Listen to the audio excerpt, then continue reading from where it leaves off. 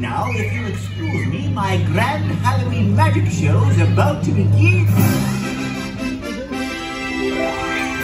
Welcome, ladies and gentlemen, boys and girls, to the Halloween magic show. I shall now make a rabbit appear out of my hat.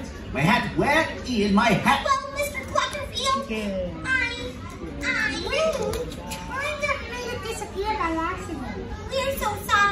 that's perfectly all right. I never liked that thing anyway. It smelled funny.